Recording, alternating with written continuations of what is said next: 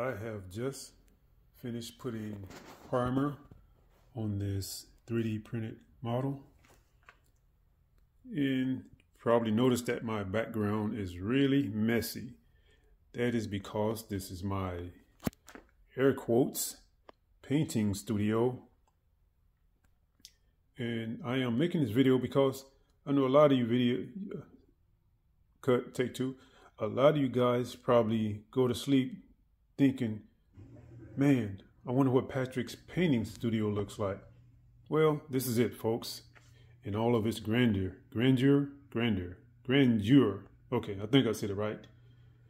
But no, actually, this is my garage, and it's in a constant state of messiness.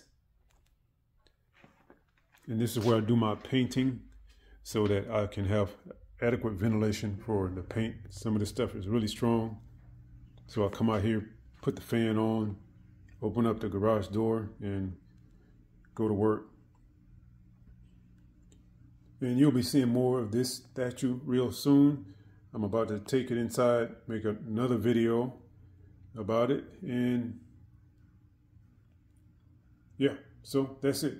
Just wanted to show off my studio here. Pretty fancy, huh? All right, so now you can sleep peacefully at night now that you know what my studio looks like. All right, folks. Thanks for watching. Bye.